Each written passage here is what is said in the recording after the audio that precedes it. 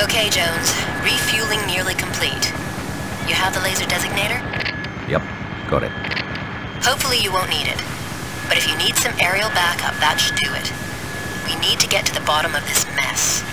The rendezvous detailed in the records we got from Quest is only 680 miles away. You're heading for the Spratly Islands, currently under Chinese occupation, despite the best efforts of the West. Be careful.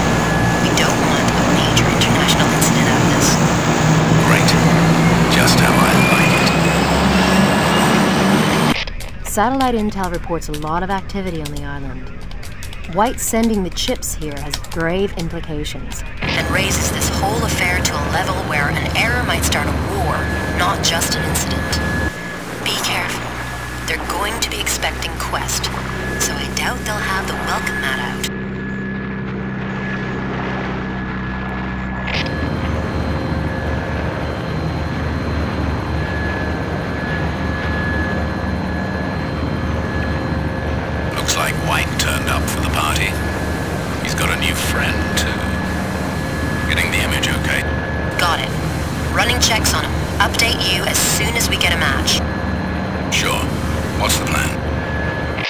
When you get close enough, bail out and let the plane run ashore on autopilot.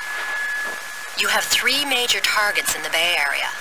They have SAM missiles and long-range radar early warning systems, preventing any infiltration from air or sea. These systems must be deactivated or we will not be able to provide backup or emergency evac. Locate and sabotage the power generators, the communication systems, and the radar. I'll track the chips once they've been unloaded to see where they're headed. Do not alert the base personnel or we're screwed. Once you've taken out the warning systems, head inland. Roger. Jones out.